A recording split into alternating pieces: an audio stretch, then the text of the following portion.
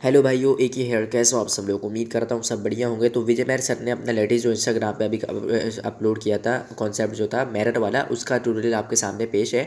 तो आपको मालूम ही होगा कि मतलब दो दिन से वीडियो नहीं आ रही क्योंकि बहुत बिज़ी चल रहा हूँ टाइम नहीं मिल पा रहा था और इसी वजह से आज पोज का भी मतलब पोज खिंचवाने वाला सीन नहीं हुआ क्योंकि टाइम बिल्कुल नहीं मिल पाया। तो ना होने से तो होना बेहतर तो मैंने सोचा है कि मेरर वाला कॉन्सेप्ट तो मुझे इंस्टाग्राम पर भी मैसेज भी आ गए थे लड़कों के कि भाई ये वाला कॉन्सेप्ट जो हमें चाहिए। तो फिर पोज नहीं खिंचवाया, लेकिन मैं बताऊँगा कि कैसे आप स्टाइल बनाओगे। इन उम्मीद है कि आप मतलब सीख जाओगे, समझ आ जाएगी कि कैसे आपने ये वाली एडिटिंग करनी है। बहुत टाइट तरीके मतलब बन जाएगी। तो वीडियो आपको अच्छी लगती है, वीडियो को लाइक शेयर लाजमी करना। चैनल पर अगर आप नहीं हो तो सब्सक्राइब करने के साथ साथ ही घंटा जो होता है उसको घंटे को दबा लेना। और हाँ अगर आप इंस्टाग्राम चलाते हो तो इंस्टाग्राम की लिंक आपको डिस्क्रिप्शन में मिल जाएगी। एक है भाई की इंस्टाग्राम पर तो लाजमी आपने फॉलो करना ये बात लाजमी रखो। तो चलते हैं वीडियो को तरफ़। वीडियो में मैं पोज दिखा देता हूँ। दो पोजों की आपको ज़रूरत पड़ेगी।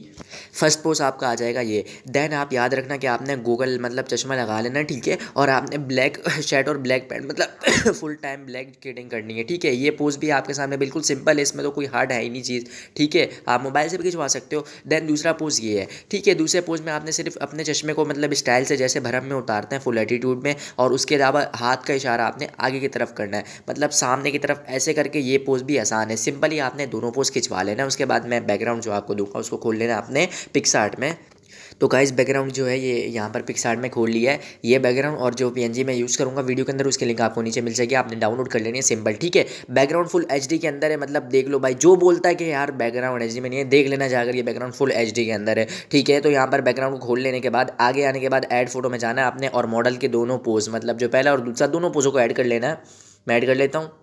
तो दोनों पोज यहाँ पर ऐड होंगे, दोनों दो दूसरी बात बहन मतलब दोनों का बैकग्राउंड मैंने पहले से रिस्क कर लिया था। अगर आपको बैकग्राउंड को रिस्क करना नहीं आता तो आपको नीचे वीडियो को लिंक मिल जाएगी। आपने सिंपल जाकर देख लेना है कि कैसे बैकग्राउंड को रिस्क करते हैं। डरने की आपको ज़रूरत नहीं है, ठीक है? तो अब यहाँ पर आपको पता ही होगा कि पिक्सार्ट में एक मतलब यही चीज़ आती है कि ये मतलब पीछे क्यों जा रही है ये वाली फ़ोटो इसके आगे से क्यों नहीं आ रही है? क्योंकि पिक्सार्ट में आजकल ये चीज़ हो गई है कि जिसको पहले आप सेलेक्ट करके ऐड फ़ोटो में करो। अगर दो फ़ोटोज़ ऐड करे होगे तो जिसको पहले सेलेक्ट करोगे तो वो पीछे जाएगी तो ये तो आपको पता ही होगा। तो आपने पहला जो पोज होगा सिंपली आपने उसको बड़ा करना होगा। और उसको यहाँ पे बिल्कुल यहाँ पर इसको टांगों को यहाँ पर रख देना होगा और इसको थोड़ा छोटा करके बिल्कुल यहाँ पे जो शीशे का एंड हो रहा है ना, यहाँ पे शीशे के एंड पे आपने इसके हाथ को क्यों रखना है, क्योंकि ये हाथ तो ऐसा पोज बना हुआ ही होगा आपने इसको छोटा करना है और आपने बिल्कुल शीशे के एंड में मतलब इस तरफ़ इसको ले आना है, ठीक है, इस वाले पोज को। जैसे मैं ले आऊँ, थोड़ा सा छोटा कर दो, काफ़ी ये बड़ा लग रहा है, उसके बाद आप इसको यहाँ पर लगा दो, ठीक है तो ये जब लग जाए, लग जाने के बाद हम दूसरे दूसरे वाला जो है, हमारा पोस्ट कहाँ गया दूसरा वाला, उसको हम लाएँगे। तो ये लग चुका है, उसके बाद हम दूसरे वाले पोस्ट को पीछे की तरफ़ ले जाएँगे। तो मैंने आपको जो पहले बताया कि ये पीछे क्यों जा रहा है, जो मतलब पहले जिसको ऐड करो तो वो पीछे मतलब ये पिक्सार्ट के अंदर सीन हो गया, आप चलाते हो आपको पता ही होगा। तो आपने इसको पीछे की तरफ़ लाना और इसके जो हेयर होंगे ना मतलब ऊपर जो गिलास है या फिर क्या है, पता नहीं है इससे टकराएँ। मतलब आपने इतना बड़ा करना है कि ये जो इसके हेयर है ना, वे इसके ऊपर तक मतलब टकराएँ। इससे बहुत फ़ायदा होगा आपकी फ़ोटो के अंदर, मैं बताता हूँ आपको। तो आपने पहले इसकी उंगली को जो होगी ना मतलब आपकी जो हाथ की उंगली होगी, उसको पहले आपने कर देना होगा इस वाली बॉडी के नीचे, ठीक है? हाथ की उंगलियों को आपने इस वाली बॉडी के कर देना होगा पहले नीचे। उसके बाद आपने इसी वाले को सिलेक्ट करके रखना होगा रेजर में जाना होगा और क्या करना होगा हार्डनेस को बढ़ा के यहाँ यहाँ पे जो पार्ट आ रहा होगा इसका, उसको आपने सिंपली कट कर देना होगा, ठीक है गाइज़ यहाँ पर आपने कट कर देना होगा और कुछ नहीं करना होगा। यहाँ से सिर्फ़ पहले आप इसका पार्ट कट कर दो। कट कर देने के बाद आपने दूसरा काम करना होगा, वो मैं बताता हूँ आपको। पहले कट कर दिया कट कर देने के बाद बिल्कुल एक असली लुक लगेगा। ऐसा लगेगा कि मतलब ये असल में ना इस शीशे के अंदर खड़ा हुआ है मिरर के अंदर से इसकी फ़ोटो आ रही है। ठीक है कट कर देने के बाद आपने ये वाला सेलेक्ट कर लेना। कौन सा? ये पहला वाला। इसकी ओपिसिटी को आपने कम करना है देन आपने जाना है रेजर में और रेजर में जाने के बाद आपने हार्डनेस को बढ़ा के, जहाँ पे इसकी उंगली का पार्ट आ रहा है, उसको आपने कर देना इरेज ठीक है? इरेज जैसे यहाँ पे अंगूठे का पार्ट आ रहा है, उसको आपने यूँ इरेज कर देना है। यहाँ पे इस वाली उंगली का पार्ट आ रहा है, इसको भी आपने इरेज कर देना है। जहाँ जहाँ पे उंगली का पार्ट आ रहा है, उसको आपने कर देना है। जैसे यहाँ पे ये वाला इसकी अंगूठी का आ रहा है, उसको भी आपने इरेज कर देना है। और यहाँ से पूरी आपने अच्छे तरीके से लाइन बना लेनी है। तो मैं लाइन बना के दिखा देता हूँ आपको।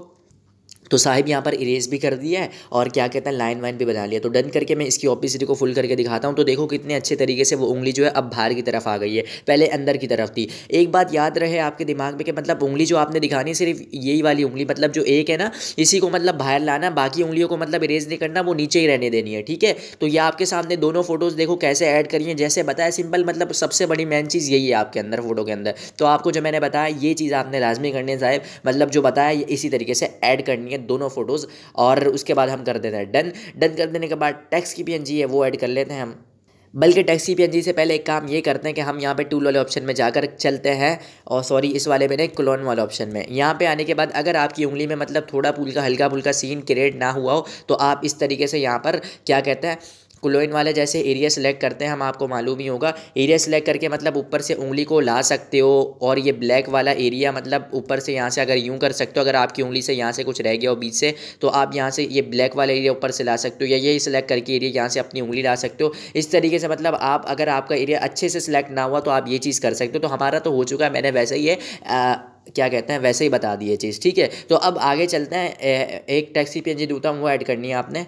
ये आ गई है टैक्सी पी अब आप बोलोगे एक ही भाई का क्या काम है? तो बिलिंड में सीधा जाने के बाद आप इसको पहले तो स्क्रीन पे ले आओ, उसके बाद आप रेजर में चले जाओ, उसके बाद आपने इसके ब्रूज को सिलेक्ट कर लेना है, और आपने जहाँ पर टैक्स से सिर्फ़ उसके अलावा उसको रहने देना है, बाकी आपने ऊपर नीचे से इसको हर जगह से काट देना है। आपको थेमनल के अंदर एक थमनल के अंदर फ़ोटो नज़र आई होगी मतलब विजय मेहर की जो शेड था, उस पर क्या कहते हैं, असल तो उनकी शेड पर ये क्या कहता है, टैक्स नहीं था, लेकिन ये टैक्स बहुत बढ़िया लग रहा था, मैंने ट्राई किया था, देखा तो बहुत अच्छा। तो अगर आप आपने ब्लैक शर्ट पहनी होगी, ठीक है, आपकी विजय मेहर की तो फ़ोटो है नहीं। अगर आपकी ब्लैक शर्ट होगी तो आपकी शर्ट पर ये टैक्स इतना जचेगा, मैं बता नहीं सकता। बहुत ज़्यादा हद से ज़्यादा जचेगा। तो आप डन करोगे और आपने जैसे यहाँ पर है सिंपल ही वैसे इरेजर में देखो, ये जगह रह गई। तो यहाँ से आप इसको दोबारा ले आओ और डन करोगे। आप इसको जैसे है, वैसे ही रहने देना और ज़्यादा इसके साथ कुछ भी नहीं करना। फिर आपने ओपिसिटी में जाने के बाद इसकी ओपिसिटी को कम कर देना देन इसको थोड़ा सा आपने बड़ा कर देना है। बहुत बढ़िया लगेगा मतलब शर्ट के सामने ये चीज़ जो है ना आपकी। तो ओपिसिटी को आपने इसकी कर देना है तकरीबन सिक्सटी परसेंट तक काफ़ी है हाँ। और यहाँ से थोड़ा हल्का हल्का कम लग रहा है तो इसको डार्क मतलब हाईलाइट कर देता है। तो ये हो गया, आप डन कर दोगे। डन करने के बाद दोबारा ये वाली फ़ोटो ऐड कर ले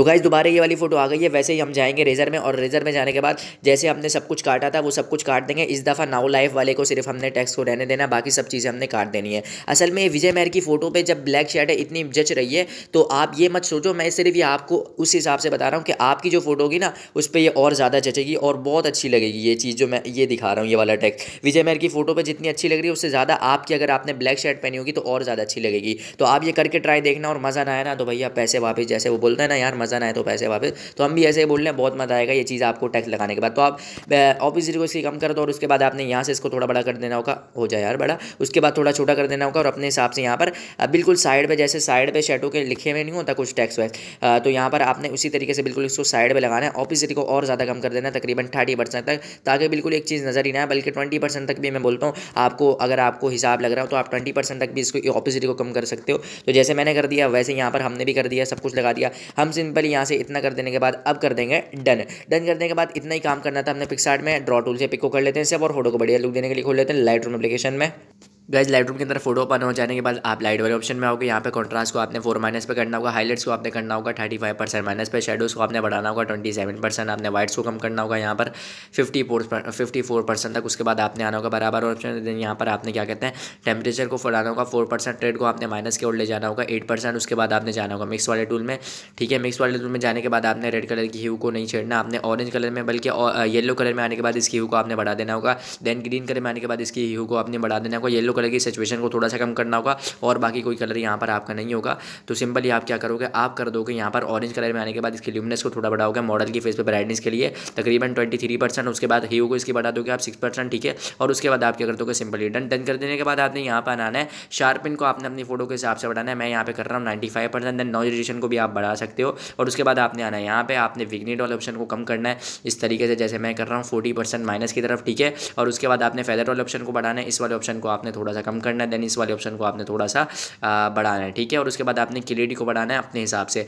तो आपकी फ़ोटो पर जितनी जच रही हो, मैं तो यहाँ पर कर रहा हूँ थर्टी तक, ठीक है? उसके बाद हम चलेंगे सीधा सूरज भैया में, यहाँ पर हम शेडोज़ को बढ़ाएँगे, ठीक है? और ज़्यादा शेडोज़ को हमने बढ़ा दिया, यहाँ पर तकरीबन हम शेडोज़ को कर देंगे, यहाँ पर एटी तकरीबन सेवेंटी एट परसेंट तक फिर यहाँ पे आने के बाद ट्रेंड को हम और ज़्यादा ले जाएँगे four percent twelve percent minus पे, और टेम्परेचर को हम सिक्स परसेंट बढ़ा देंगे। और उसके बाद हम आएँगे फिर सूरज भैया में, और यहाँ पर ब्लैक्स को थोड़ा सा कम करेंगे, ठीक है? और उसके बाद हम हाईलाइट्स को थोड़ा सा बढ़ा देंगे, और वाइट्स को थोड़ा सा कम कर देंगे। तो मैं आपको पहले की फ़ोटो में आपकी फ़ोटो में थोड़े से इफ़ेक्ट के बाद फ़र्क दिखा देता हूँ। तो पहले की फ़ोटो देखो और आपकी फ़ोटो में बहुत बढ़िया तरीके से इफ़ेक्ट आ गया और ये ये जो, ये कहता है टैक्स जो लगा हुआ ना, शर्टों पर बहुत ही ज़बरदस्त लग रहा है। तो यार, ऐसे ही आप फ़ोटो बना सकते हो। मतलब सबसे मेन चीज़ पोज की थी, आप पोज अच्छे तरीके से अगर क्लिक करवाओगे तो आपको फ़ोटो एडिट करने में कोई मसला नहीं होगा। तो यार फ़ोटो मतलब पोज ही अच्छे तरीके से खिंचवाना आप, और अगर आपको वीडियो अच्छी लगती है तो लाइक करना शेयर करना। मिलते हैं अगली वीडियो में, तब तक अपना ख्याल रखना। अल्लाह हाफिज़।